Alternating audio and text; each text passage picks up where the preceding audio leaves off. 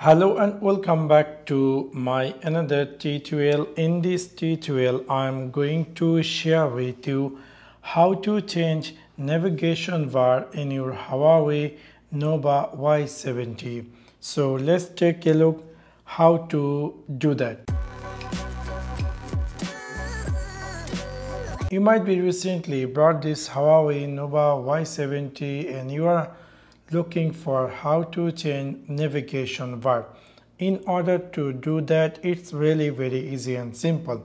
You need to click in your Huawei Nova Y70 settings section. After click over settings section, it might be going to be looks like this. You need to scroll all the way down and then you're going to find here system and update. After click over system and update, you're going to find here something say system navigation. And then you're going to find here something say three key navigation. Simply click over setting and then you're going to see there is a bunch of navigation bar. You can easily choose any of them. For example, I'm going to choose this one. If I go back, we will see my phone now is appear new navigation bar, which is really quite interesting.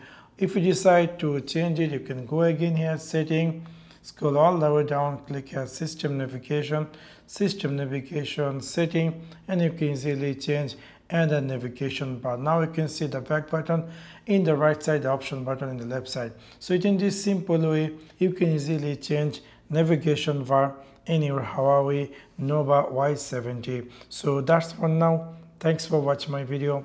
See you next one. Peace